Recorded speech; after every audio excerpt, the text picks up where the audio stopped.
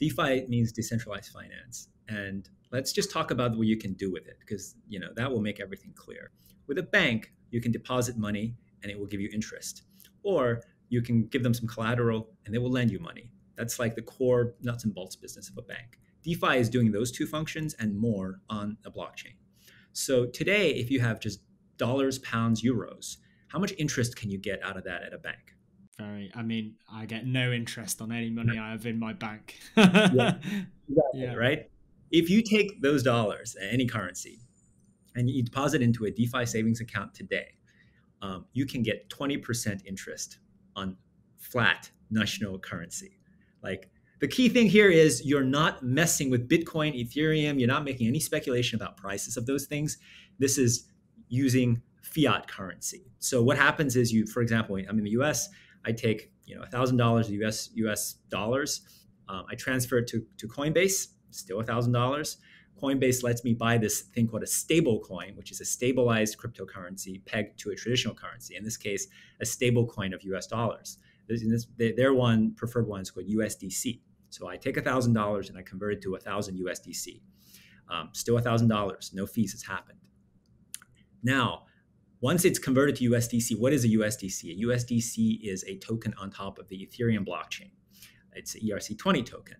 Um, the crypto protocols are uh, now basically will take my USDC and offer interest rates on deposits of this money. So I can take the thousand dollars in USDC, deposit in something like a Compound or Aave or you know, Yearn. These are all like like online uh, blockchain based banks, if you will. And today's rate is like anywhere between seven to twenty percent. Um, so call it ten percent, just just to be mm-hmm. lazy, right? Uh, you can get ten percent on top of just plain cash. Like that's crazy.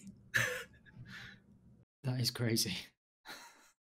Like you did, require, you did not require Bitcoin to go up. You did not require Ethereum to go up. You did not have to speculate on ICO. It's just you know straight cash into equivalent stablecoin deposited away. Now, what's what's different about this versus like a term deposit? A, there's no term, so it's a complete like you can take it in, take it out anytime you would like.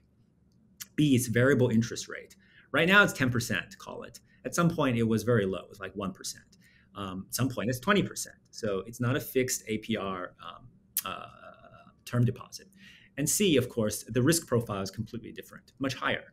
Um, this is like most deposit accounts are federally insured. So, you know, a bunch of gangsters go to the bank, steal all your money, you're not going to lose all your money.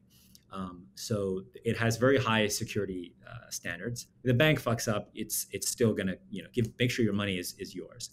Uh, if you deposit stable coins into a um, into a smart contract, and for whatever reason uh, it gets evaporated, you know some hacker, there's code bugs, any reason that that it, things go south, it's gone. It's not uh, there's no number to call. There's no insurance agency. There are actually insurance agencies, but there are mm. none of them.